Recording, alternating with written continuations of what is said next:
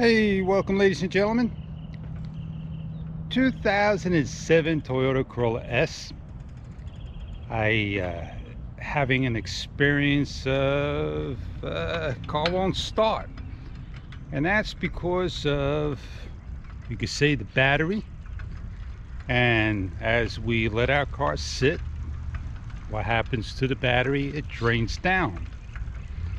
So what's causing this drain? Uh, could it be my LED light of my alarm system? It's a soft LED. It's not one of those uh, real bright lit ones. And it flashes one flash per second. Now I do go in the car and I start it up every other day and it's not starting up. I have a solar charger for my roof. It's a 20 plus amp and it can get up to 5 amps and charge a battery pretty quick. And during the whole day from a dead battery it takes about 5 plus hours. My battery's charged. I take it out to the car, it's fully fresh, it reads 13.24 uh, and then it goes down to about 11 volts and that's the end of the battery and that can go for a couple of days to even being overnight. It could just see it just go down. Now I understand about parasite drawers and all that good stuff but that's what everybody's talking about something that's not related to the issue. Now I did check the voltage uh, with it being off. I monitored and I made a decision to get a new battery from Costco. And yeah it uh, held the charge for a couple of days and sure enough it's dead again. So now it gets me thinking it's a little bit more than just a battery. So what's happening here?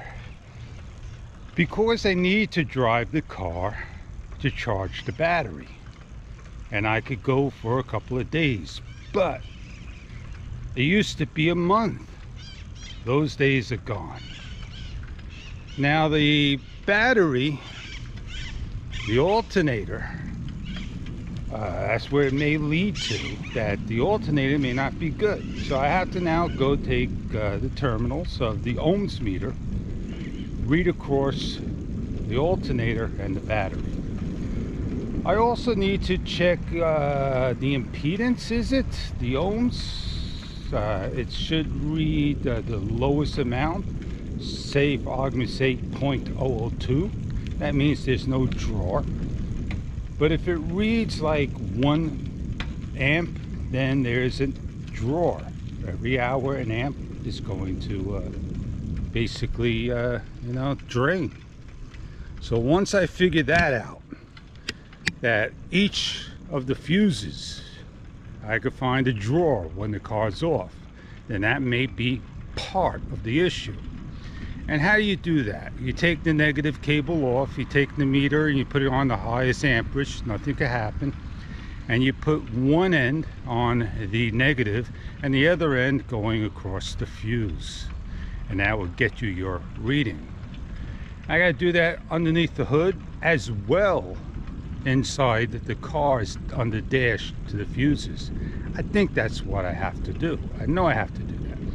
I also got to go across the uh, the alternator and measure it off and on. I got to check the grounds. There's a lot I have to do to rule out my alternator. I want to rule out that it's my alarm system and I do not want to take every single wire off of the alarm system.